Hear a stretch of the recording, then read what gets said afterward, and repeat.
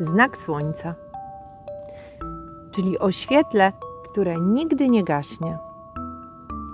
Bobek, wyobraź sobie, że zwiędły nam prawie wszystkie klasowe kwiaty, nawet ten, który dostaliśmy od babci Celiny, żaliła się Alicja.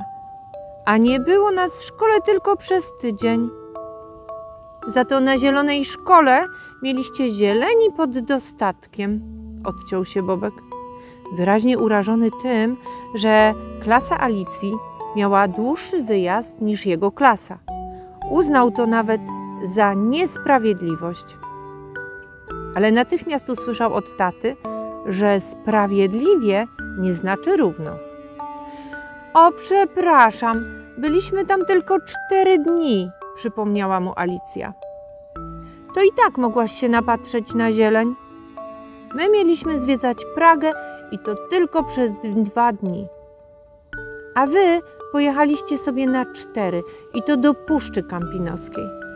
A później była sobota i niedziela i tak wam upiekł się cały tydzień bez szkoły. Ale za to nie mamy w klasie nic prócz kaktusów. Trzeba było podlać kwiaty przed wyjazdem, a nie teraz narzekać, mruknął Bobek.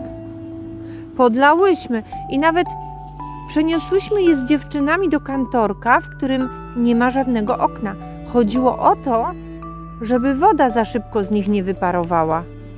A to ci pomysł, Bobek parsknął śmiechem.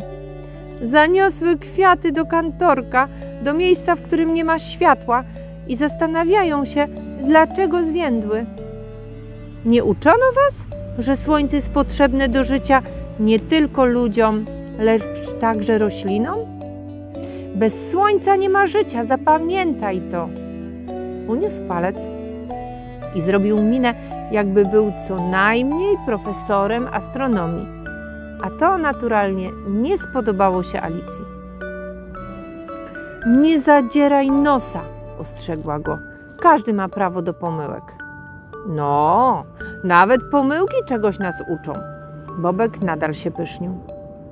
Teraz możesz się przekonać na własne oczy, co by się stało z naszą planetą, gdyby słońce nagle zgasło. Myślisz, że zginęłaby jak te kwiaty? Ja nie myślę, ja to wiem, odpowiedział Bobek z miną triumfatora. No to czegoś tu nie rozumiem, westchnęła Alicja. Rodzice powtarzają nam, że słońce jest szkodliwe i że nie możemy zbyt długo na nim przebywać. Poza tym musimy się smarować kremami z filtrem, a latem w niektórych godzinach najlepiej, żebyśmy w ogóle nie wychodzili na zewnątrz. To jak to jest?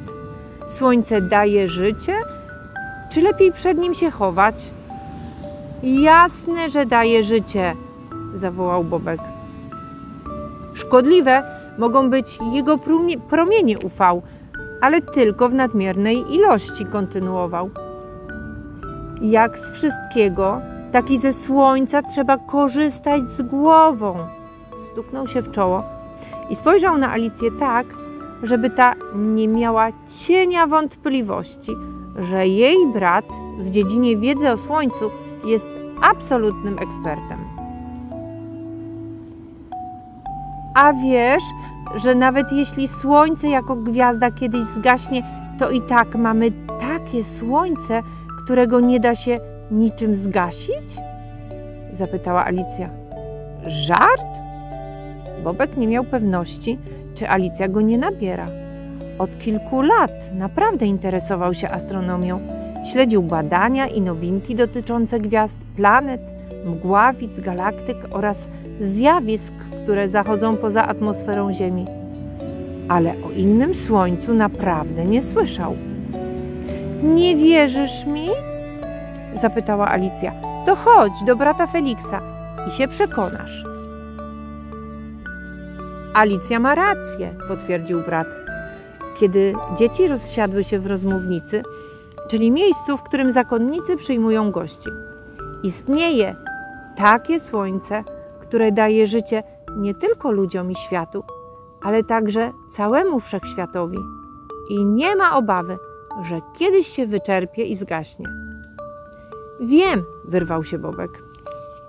Ostatnio naukowcy odkryli nową gwiazdę podobną do Słońca z czterema planetami o wielkości zbliżonej do Ziemi. To o niej mowa? Nie, zaprzeczył brat Felix. Zresztą, chodźcie ze mną do kościoła, coś wam pokażę. Zaproponował i już po chwili znajdowali się w cichym i wypełnionym kolorami kościele. Skąd tu takie kolory? zdziwił się Bobek. Słońce prześwietla te kolorowe witraże. Brat wskazał na piękne mozaiki w oknach. Dlatego na ołtarzu, ławkach i posadzce powstają takie cuda. Ale kiedy przychodzimy na mszę świętą, nigdy ich tu nie ma, zauważyła Alicja, kręcąc się z zachwytem wokół siebie. Tu jest pięknie, przepięknie.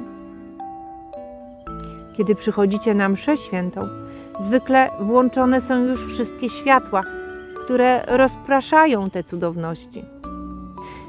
Ale jeśli będziecie zaglądać tu popołudniami, szczególnie w słoneczne dni, to gwarantuję Wam, że będziecie mogli te cuda podziwiać.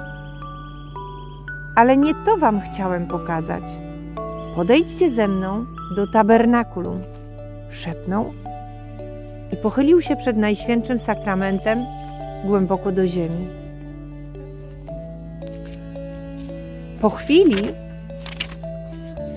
spytał, co jest narysowane na drzwiach tabernakulum? Coś jakby słońce, odgadł Bobek. Teraz chodźcie ze mną do zakrystii, zachęcił ich brat. Kluczem, oznaczonym czerwoną taśmą, otworzył sejf i wyjął z niego piękną, pozłacaną monstrancję. Ostrożnie ustawił ją na stole i poprosił, by Alicja z Bobkiem uważnie się jej przyjrzeli. Z czym wam się kojarzy jej kształt? zapytał. Ze słońcem, przyznał Bobek. Tu, w sam środek, wkłada się hostię, która już nie jest hostią, tylko ciałem Pana Jezusa. Alicja weszła mu w słowo. A naokoło są promienie i wygląda to jak słońce. Czasami hostia, którą ksiądz podnosi podczas mszy świętej, też ma takie promienie. Zauważyła Alicja. Bo Pan Jezus jest słońcem, właśnie tym, które nigdy nie zgaśnie. On oświeca nasze życie, wszystko co robimy, o czym myślimy i gdzie jesteśmy. Jak promienie słońca są w stanie przecisnąć się przez najmniejszą szczelinkę, tak Jezus jest w stanie dotrzeć do całego naszego życia i do wszystkich miejsc, w których jesteśmy. Jezus daje nam prawdziwe życie, czyli takie, które nigdy się nie skończy. Rzeczywiście Słońce, jako centralna gwiazda układu słonecznego, może kiedyś zgasnąć, ale Jezus Chrystus, wschodzące Słońce i światłość świata nigdy nie zgaśnie. Zakończył brat Felix, a później długo milczał.